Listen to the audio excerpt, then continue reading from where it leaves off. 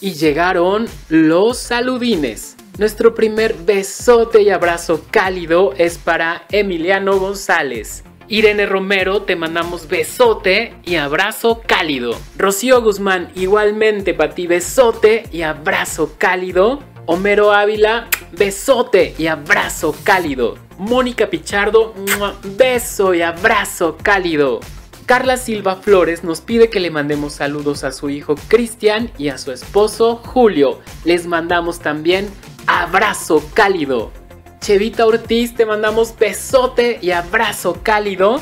Y saludos también a Shay Vázquez. Su mami le preparó el pollo en adobo y el espagueti en salsa de queso para su confirmación. Y cheque nomás cómo quedó esta deliciosez. Hola, bienvenidos. Hoy en el video facilito vamos a preparar una receta que ya me han estado pidiendo mucho. Sí, hoy prepararemos un delicioso guacamole. Acompáñame a ver los ingredientes. Y manos a la obra.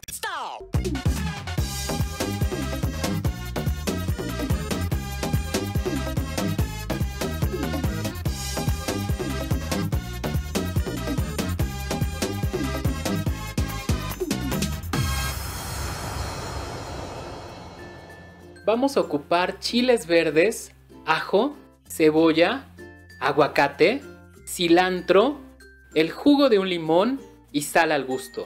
Primeramente, en un sartén a fuego lento, vamos a poner un chorrito de aceite y vamos a freír nuestros chiles junto con el ajo.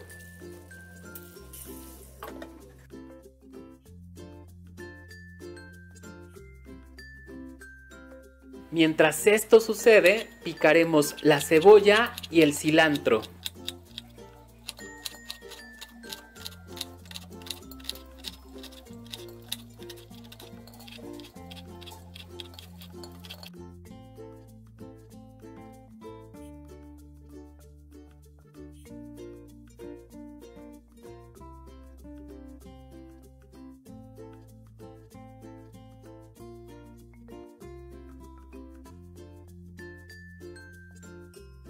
Me parece que me di mal y aquí no va a caber nuestro guacamole, así que lo llevaré a un recipiente más grande.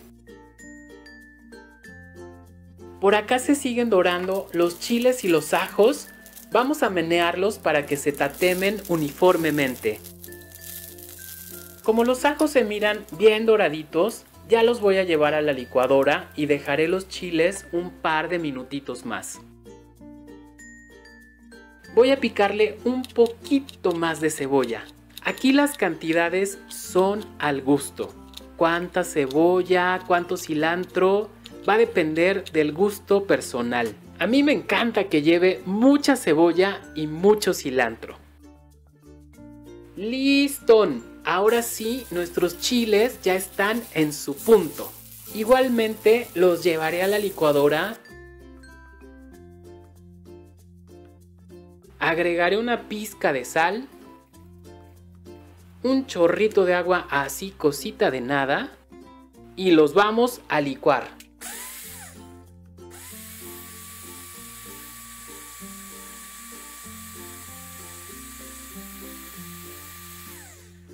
Agregaremos el aguacate y nuevamente le daremos unos toquecitos en la licuadora.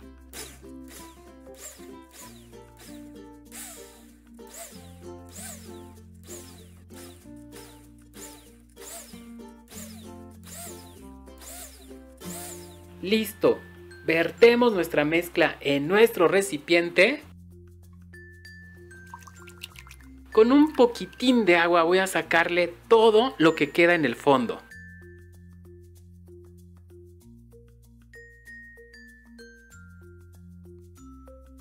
Mezclamos esta ricura y le exprimimos el jugo de un limón. Justo este es el trucazo para que su guacamole permanezca con un color verde suculento. El jugo de limón, aparte de darle un toquecito rico, ayuda a que no se haga negro. Hay quienes en vez del jugo de limón agregan un chorrito de leche y eso también ayuda a que el guacamole permanezca de un color verde intenso. Y ahora sí, nuestro guacamole ya está listo. Chécate nomás esta deliciosez.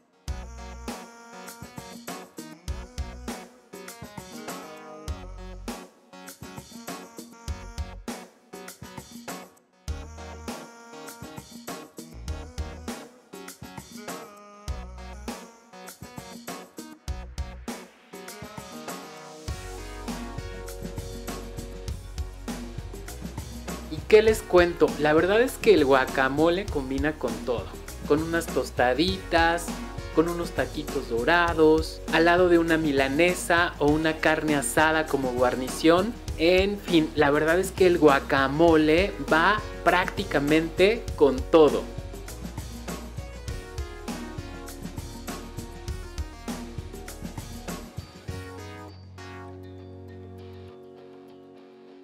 Espero que hayas disfrutado el video y que te sea de mucha, pero mucha utilidad. Si te gustó, compártelo y regálame tu like. Yo soy Edgarín, te dejo un abrazo cálido y no olvides suscribirte al canal. Por aquí aparece mi foto, ahí púchale para suscribirte.